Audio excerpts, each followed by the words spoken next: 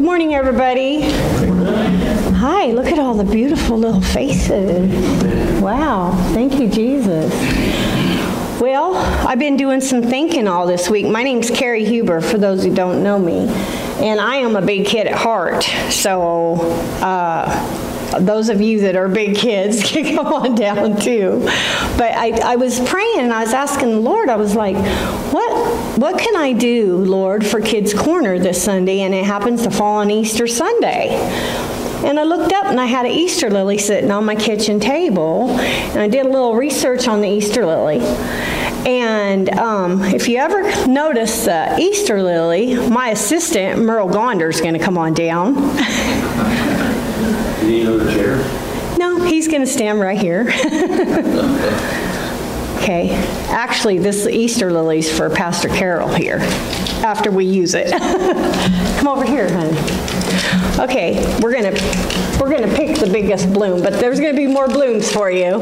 So Merle's gonna pick the bloom. Okay, and if you guys all notice, what is it shaped like? A trumpet. Yeah. Merle, he's gonna blow it. You gotta imagine what. He's gonna do do do. We're gonna all hear a trumpet one day because the stone has been rolled away. Amen. Amen. And Jesus went to the cross, and we all know that Jesus died on the cross, right? Okay? And they laid him in a borrowed tomb, but that tomb was rolled away by a beautiful angel.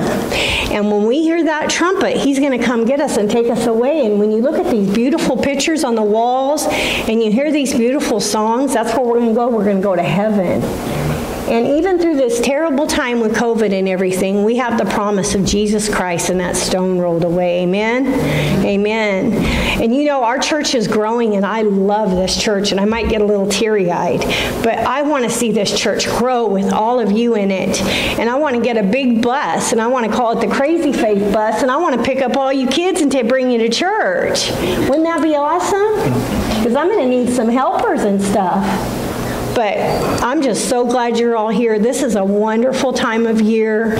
And that stone was rolled away, and that trumpet's going to blow one day, and we're going to go up in the air with Jesus.